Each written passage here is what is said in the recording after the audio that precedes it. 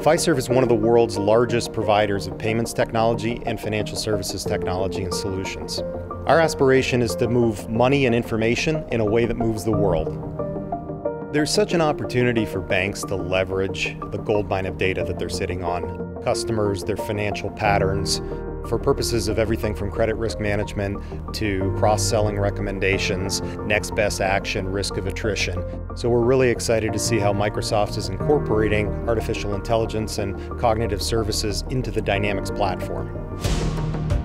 We see a great opportunity to broaden the solution set on Dynamics, to leverage the platform to automate and improve many different workloads that banks have today not just related to sales and sales automation, uh, everything from account origination, treasury management automation, commercial loan origination, uh, all using the Power Apps platform.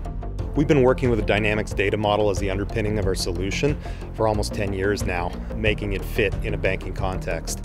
We're excited that Microsoft is releasing the common data model for banking. We think it gives us a common language when dealing with other partners and clients and a foundation from which we can build to focus on our expertise around the functionality the banks need in retail and commercial banking. We also think that the common data model for banking gives us a better opportunity to work with other Dynamics partners who have solutions that are complementary to ours. To the extent that they're using the same language, the same data structures and semantics, that makes it a lot easier for us to plug our solutions into theirs and vice versa.